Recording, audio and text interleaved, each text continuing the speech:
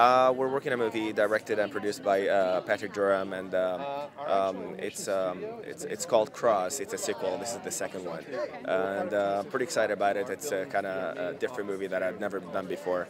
Um, the ones um, than the ones that I did back home in Egypt. So uh, um, the movies back there, I did several ones, like uh, um, uh, drama ones, uh, romantic ones, action ones. But um, this one's kind of different for me. I, I love it. I, love that transition from from the Egyptian market and the, the Arab world market in movies.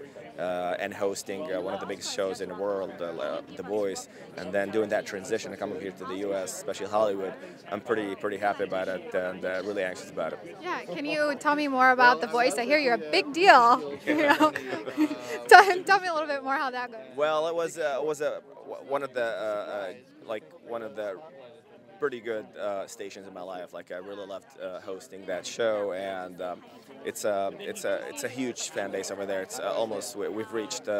Uh, uh, 120 million viewers over there, which uh, was uh, amazing actually to reach that number. But it makes sense because it's kind of different because we're we're, we're um, airing that show for 22 Arab countries. Uh, so they all speak same language from uh, Saudi Arabia, from Egypt, from Bahrain, from Kuwait, from Iraq, from everyone.